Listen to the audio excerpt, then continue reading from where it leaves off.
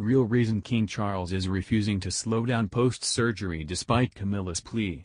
Queen Camilla has reportedly urged King Charles to slow down, especially as he is set to undergo surgery this week. King Charles will refuse to slow down, despite Queen Camilla's plea to do so, due to one key reason. The Queen is said to have urged her husband to take things slow, especially as he is set to undergo treatment for an enlarged prostate later this week.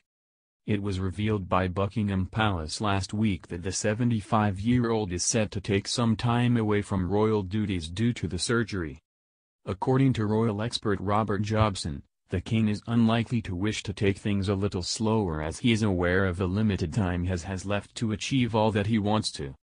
Speaking to Express.co.uk, Mr. Jobson said, from the moment he arrived at Buckingham Palace the day before his coronation and got out of the car for a walkabout when someone embraced him and said God save the king dash a very touching moment, everyone warmed to him. But he was never going to be a carbon copy of the queen.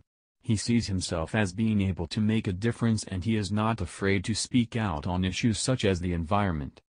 Speaking on why he will not want to slow down, the expert said, his first year as king has so far been characterized by a sense of urgency, he knows he has a limited time to achieve.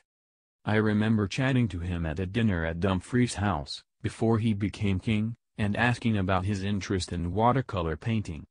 He replied that he doesn't have time to paint anymore. King Charles has been monarch for the past 16 months, having taken on the role on September 8, 2022. Although he has seemingly won over the public, the royal has been urged to step down in order to make way for the younger generation of royals. Speaking previously to GB News, Stephen Pound, who is a former Labour MP, said King Charles making the decision step down would save the monarchy. He said, the monarchy is in a state of crisis at the present time. We've had possibly the worst few years since, Her late Majesty Queen Elizabeth II, passed on. Wouldn't it be a wonderful thing if King Charles said it's time for a reset?